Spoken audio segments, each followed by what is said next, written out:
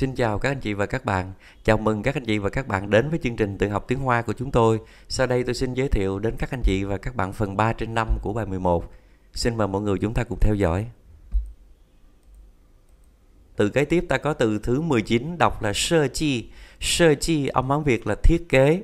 À, âm Hán Việt này vẫn còn dùng rất nhiều trong tiếng Việt của mình.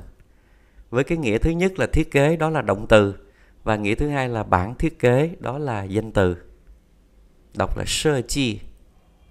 Chúng ta xem ví dụ Xin quên nì cho sắm cung do? Xin quên nì cho sắm cung do? Xin hỏi anh làm nghề gì? Sắm cung do là công việc gì? Tức là nghề gì? Wo shi cung thận sư Wo shi cung thận sư Tôi là kỹ sư. Tại y gia kiến trúc công sư Cung do Tại y gia kiến trúc công sư Cung do Làm việc ở một công ty kiến trúc. 你工作忙不忙？你工作忙不忙？À, công việc của bạn có bận không? Câu này chúng ta có thể nói là Nì cung cho mạng mà. Hẳn mạng. 我们在设计一个足球场。我们在设计一个足球场。Rất bận, chúng tôi đang thiết kế một sân bóng đá. Chủ chiếu là bóng đá, chủ chiếu tràng là sân bóng đá. À, từ đây chúng ta có từ mở rộng là sơ chi sư sơ chi sư là nhà thiết kế sư là thầy à, hoặc là một chuyên gia một chuyên gia một bậc thầy về thiết kế thì là nghĩa là nhà thiết kế thôi. Kế tiếp nữa ta có từ thơ sơ. Thơ sơ âm hán việt là đặc sắc. À, nghĩa cái từ cái âm hán việt này trong tiếng việt vẫn còn dùng. Và chúng ta lưu ý nó là danh từ chứ không phải là tính từ như vậy chúng ta không có nói là hình thơ sơ hoặc là pu thơ sơ. À, nếu mà có cái nét đặc sắc hoặc là nét độc đáo thì chúng ta nói là dồ thơ sơ hoặc là hình dồ thơ sơ hoặc là mỹ dồ thơ sơ. Chúng ta xem ví dụ Trơ sư sủy tờ sơ chi Trơ sư sủy tờ sơ chi Đây là bản thiết kế của ai? Sư Lý Sen Sơn de Sư Lý Sen Sơn Là bản thiết kế của ông Lý Tơ đây tức là tơ sơ chi. 它的设计很有特色。它的设计很有特色。Bản thiết kế của ông ấy rất độc đáo, rất là đặc sắc. 对，我非常喜欢它的设计。我非常喜欢它的设计。Vâng, tôi à, cực kỳ thích bản thiết kế của ông ấy. Và vẫn nhắc lại như vậy là có nét độc đáo, có nét đặc sắc thì chúng ta nói là dồ thơ sơ. Và không có đặc sắc gì thì chúng ta nói là mỹ dồ thơ sơ. Nhớ như vậy. Kế tiếp chúng ta có từ thứ 21 là từ chua. Chua âm hán việt là tọa. Ví dụ như là tọa lạc gì đó vẫn dùng từ tọa này. À, miếng đất đó tọa lạc tại đâu đó. Nhưng ở trong phạm vi của bài thì nó là lượng từ dành cho nhà cao tầng nè cầu nè núi nè vân vân. Chúng ta xem ví dụ, xin quên Trung Quốc diễn hãng chai nợ. xin quên Trung Quốc diễn hãng chai nợ. Xin hỏi ngân hàng Trung Quốc ở đâu? Chai nợ chúng ta cũng có thể nói là chai nã lì. Nì khan chen na chua ta lỗ mà. Nì khan chen na chua ta lỗ mà. Lỗ là tòa nhà. Nì khan chen na chua to ta lỗ mà. Bạn có trông thấy cái tòa nhà to kia không? Tòa nhà cao tầng kia không? 看见 à, trông thấy hoặc là nhìn thấy. Trung Quốc银行就在那座楼里边。Trung Quốc银行就在那座楼里边。Ngân hàng Trung Quốc à, ở bên trong của cái tòa nhà đó. Xê xê niễn, xê xê niễn, à, cảm ơn anh. Kế tiếp ta có từ thứ 22. Từ thứ 22 là từ chảo. Chảo âm hán Việt là kiều kiều có nghĩa là cầu. Chúng ta xem ví dụ bên dưới. Quảng sen sơn cung cho mạng của mạng. Quảng sen sơn cung cho mạng của mạng. Công việc của ông vương có bận rộn không? Quảng sen sơn cung cho mạng ba. Truy chiên tha cung cho thai mạng là. Truy chiên tha cung cho thai mạng là. Gần đây công việc của ông ấy bận lắm, Thai mạng là. Tha hải trai chén ru cung sư cung cho mà 他还在建筑公司工作吗？Ông ấy còn làm việc ở công ty kiến trúc không vậy? Hải đây là còn. Hải tại 建筑公司工作吗？ 对，vâng. 听说他在设计一座桥。听说他在设计一座桥。Nghe nói ông ấy đang thiết kế một chiếc cầu hay là một cây cầu gì một chiếc cầu. Na tha dĩ thiên hình mãn là na tha dĩ thiên hình mãn là na ngoài cái nghĩa là đó hoặc là kia thì nó còn có nghĩa khác mà chúng ta cũng gặp rồi. Đó là thế thì na thay vì tiếng hình mãn là thế thì ông ấy nhất định là rất bận rồi. Kế tiếp nữa ta có từ thứ 23 đó là từ tan sư. Tan sư từ tan, ông Hán Việt là đảng hay là đạn. Và sư là thị thì đảng hay đảng không thấy còn dùng trong tiếng Việt mình nữa. Nhưng âm Hán Việt của từ sư là thị thì vẫn còn ví dụ tiếng đời thị phi hay là à, cầu thị chẳng hạn, vẫn còn dùng. Với cái nghĩa là nhưng, về cơ bản nó cũng giống như khờ sơ, nhưng mà thường dùng trong văn viết hơn. Nǐ xì hoan xóe ngoại ngữ mà Nǐ xì hoan xóe ngoại ngữ mà Bạn có thích học ngoại ngữ không? Hẳn xì hoan nì nà Hẳn xì hoan nì nà Rất thích, Còn bạn thế nào? Wo ye hẳn xì hoan 我也很喜欢，tôi cũng rất thích. 但是我没有时间，但是我没有时间，nhưng tôi không có thời gian. 晚上你做什么？晚上你做什么？Thế buổi tối thì bạn làm gì? 晚上你做什么？我回到家就太累了。我回到家就太累了。Tôi về đến nhà thì mệt lắm rồi.只想休息。只想休息 chỉ muốn nghỉ ngơi thôi. Xin mời mọi người chúng ta cùng đọc nào. 你喜欢学外语吗？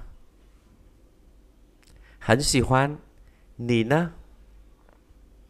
我也很喜欢，可是我没有时间。晚上你做什么？我回到家就太累了，只想休息。 Và chúng ta lưu ý về cơ bản thì tan sư cũng như khờ sư thôi. Thế nhưng mà mình cảm thấy là tan sư thiên về à, viết lách nhiều hơn, tức là viết nói đều được, còn khờ sư thì thiên về văn nói thôi là nhiều. Chúng ta lưu ý như vậy. Kế tiếp nữa ta có từ thứ 24. 24 là dầu xe.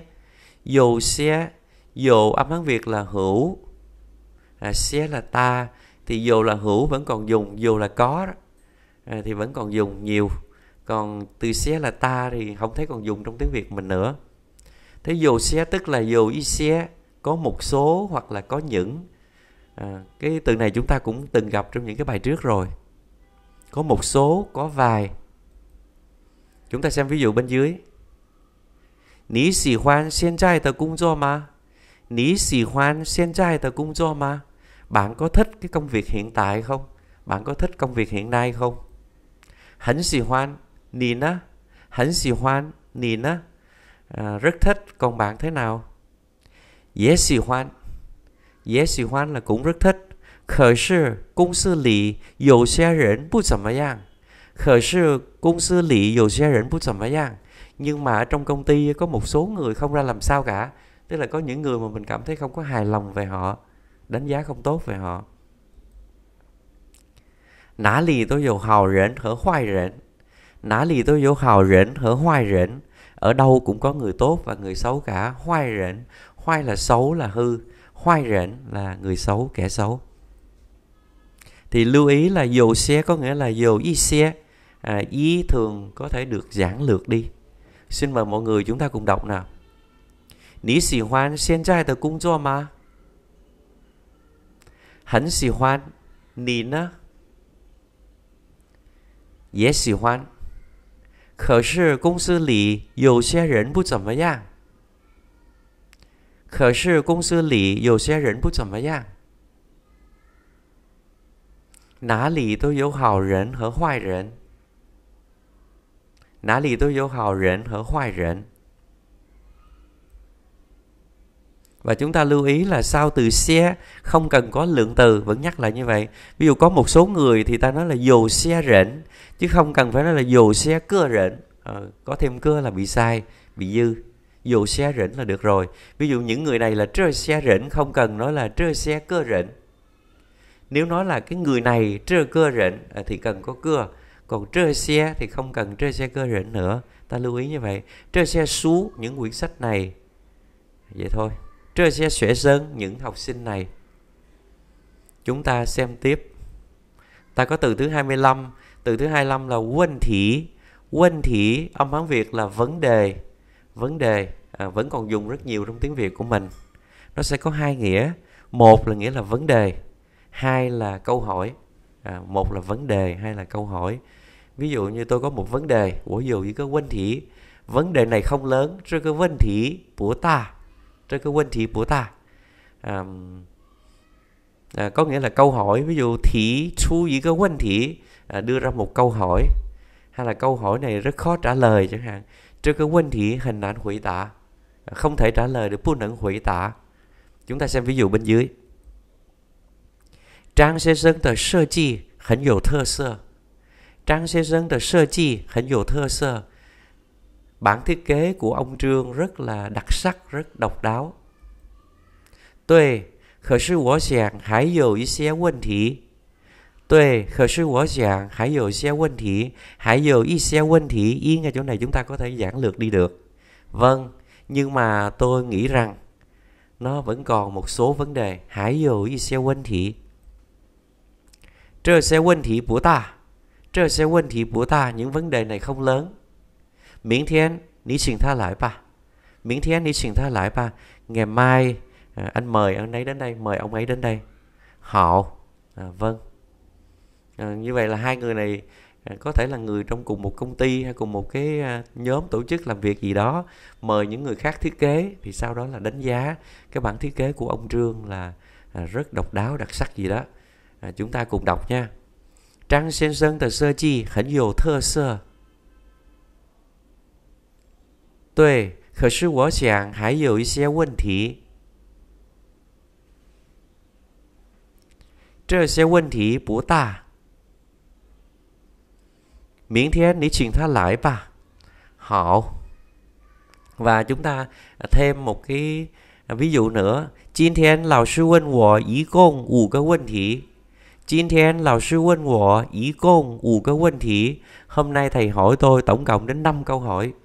Ý công ủ có quân thị. Lúc này quân thị là câu hỏi.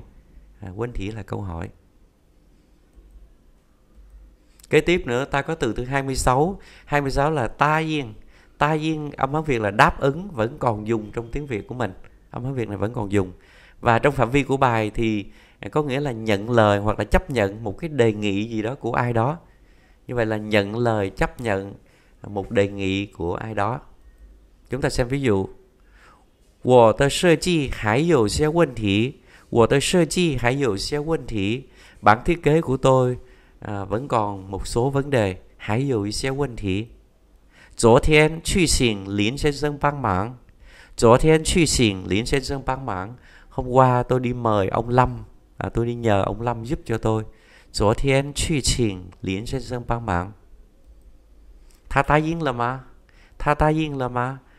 ông ấy đã nhận lời chưa? Ta yên là mà. Tha ta yên là. Tha ta yên là. Ông ấy nhận lời rồi. Xin mời mọi người chúng ta cùng đọc. 我的设计还有一些问题。昨天去请林先生帮忙。他答应了吗？Tha ta yên là và chúng ta lưu ý cái từ ta. Còn có một cách đọc khác là tả nằm trong từ hủy tả. Chúng ta cũng từng gặp ở trước đây. Hủy tả là trả lời. Ví dụ tôi hỏi anh ấy nhưng mà anh ấy không có trả lời. Và quên tha khởi sư bu hủy tả của không trả lời tôi. À, anh ấy chưa trả lời tha hãy mấy hủy tả. À, hủy tả là trả lời. Kế tiếp nữa ta có từ băng tru trước đây ta có từ băng là giúp. À, thì băng tru này à, cũng có nghĩa là giúp. Cũng có nghĩa là giúp. Giúp đỡ và ngoài ra nó khác với cái từ băng là từ băng chỉ uh, mang cái từ loại là động từ thôi. Băng là giúp. Ví dụ tôi đi giúp bạn lý của truy băng xảo lị à, tôi đi giúp vương lan của truy băng quảng lãnh thì chúng ta đây cũng có thể nói là truy băng tru xảo lị của truy băng tru quảng lãnh. Với cái nghĩa động từ thì hai cái đó là như nhau hai từ đó như nhau. Băng hay băng tru thì như nhau. Nhưng mà ngoài ra băng tru còn có nghĩa khác là sự giúp đỡ. Ví dụ cảm ơn sự giúp đỡ của anh. Xia xia nín tờ băng tru. À, cảm ơn sự giúp đỡ của các bạn. Chia sẻ niềm ân tờ à, chứ chúng ta không thể nói là chia sẻ niềm ân chúng ta lưu ý như vậy. Chúng ta xem ví dụ bên dưới. Wang Sen Sơn sẵn sàng băng tru công sư lý tơ rỉnh Wang Sen Sơn sẵn sàng băng ru công sư lý tơ rỉnh à, ông Vương à, thường hay giúp đỡ những người trong công ty. Thường hay giúp đỡ những người trong công ty công sư lý tờ rỉnh Tuệ, ta sư cơ hào rỉnh 对，他是个好人，我很喜欢他。À, vâng, ông ấy là một người tốt. Ngay chỗ này, tha sư ý cơ hào rệnh, nhưng mà chúng ta nói tắt đi, giản lược bớt từ y. Tha sư cơ hào rệnh, và hẳn xì hoan tha. Tôi rất thích ông ấy. Và một ví dụ khác nữa. Xiao Wang, xie xie nì tờ băng tru à. Xiao Wang, xie xie nì tờ băng tru à. à Xiao Wang, cảm ơn sự giúp đỡ của bạn nha. Từ A này phía trước nó phải có buộc khẩu. Nì thai khơ chi là. Nì thai khơ chi là bạn khách sáo quá rồi. Khơ chi là khách sáo. Nì thai khơ chi là. 我们是好朋友。我们是好朋友. Chúng ta là bạn thân mà. Xin mời mọi người chúng ta cùng đọc nha. Quảng先生常常帮助公司里的人。对，他是个好人，我很喜欢他。 小王，谢谢你的帮助啊！你太客气了，我们是好朋友。Kế tiếp nữa chúng ta có từ thứ 28 là chè chỏe. Chè chỏe là giải quyết. Chè chỏe là giải quyết, chè là giải. Hôm trước ta có từ léo chè là liễu giải, léo chè tơ chè, tức là từ chè trong léo chè. Và từ chỏe là quyết, à, giải quyết. Thì nó cũng là động từ giải quyết trong tiếng Việt mà thôi, âm hán Việt vẫn còn dùng bình thường. Chúng ta xem ví dụ. 昨天的问题你解决好了吗？昨天的问题你你解决好了吗？vấn đề ngày hôm qua bạn đã giải quyết xong chưa giải quyết hảo là giải quyết xong 昨天的问题你解决好了吗解决好了解决好了 giải quyết xong rồi 是你自己解决吗 是你自己解决吗 có phải là bạn tự giải quyết không à, có phải là bạn tự giải quyết không 不是是谢先生帮助我呢不是是谢先生帮助我呢 không phải đâu là ông tạ giúp tôi đấy à, không phải đâu là do ông tạ giúp tôi đấy chúng ta cùng đọc nè 昨天的问题你解决好了吗？ 解决好了。是你自己解决吗？不是，是谢先生帮助我呢。Và từ chuyển là quyết chúng ta gặp với từ tiên là định nằm ở trong dĩ tiên là nhất định bây giờ ghép vào chuyển tiên có nghĩa là quyết định ví dụ tôi quyết định à, học à, tiếng Trung Quốc của chuyển tiên à, sẽ Han ngữ tôi quyết định à, học tiếng Anh của chuyển tiên sẽ yên ngữ tôi quyết định tìm một cái công việc của chuyển tiên trào những cái công作trào những cái xin công作à, tìm một công việc mới chuyển tiên chúng ta xem ví dụ 去上海还是去北京？去上海还是去北京？đi Thượng Hải hay là đi Bắc Kinh? 到现在我爸爸还没决定呢。到现在我爸爸还没决定呢。Um, đi Thượng Hải hay đi Bắc Kinh thì đến bây giờ bố tôi vẫn chưa quyết định nữa. 我爸爸还没决定呢。À, đến đây chúng ta có các cái danh từ riêng. Thứ nhất là Trang Xiên, Trang là họ Trương và Xin là Tân, Trang Xiên là Trương Tân à, Trang là họ Trương thì được rồi còn Xin là Tân à, nó cũng có nghĩa là mới như vậy là Xin phận vô à, bạn bè mới Xin thủng xuyẻ là bạn học mới Xin nẻn là năm mới Xin chơ là xe mới ví dụ của mài xin chơ tôi mua xe mới của mài xin Ờ, quả mài xin chữ xịn sớ tôi mua xe đạp mới. Rồi vậy thôi. Từ thứ hai ta có quảng lãnh. Quảng lãnh là vương lan. Quảng là họ vương và lãnh là lan. Lãnh là lan là cũng là hoa lan, cũng dùng từ này. Lãnh hoa là hoa lan. Kế tiếp ta có từ thứ ba là trần liễn trần liễn là trần lâm. Trần là trần và liễn là lâm, tên lâm. Liễn cũng là họ lâm luôn. Và như vậy là liễn sen sơn là ông lâm trần sen sơn là ông trần thứ tư là Chiên Hóa Ta Xuế Chiên Hóa Ta Xuế là Đại học Thanh Hoa Đại học Thanh Hoa là một cái đại học gần như là được xem như là đại học kỹ thuật lớn nhất của Trung Quốc giống như Việt Nam mình có Bách Khoa hay là gì đó. À, Chiên Hóa Ta Xuế những người mà học ở Đại học Thanh Hoa là những người rất là giỏi rất ưu tú danh giá. À, thứ năm ta có từ Sang Hải Sang Hải là Thượng Hải. Sang Hải là Thượng Hải.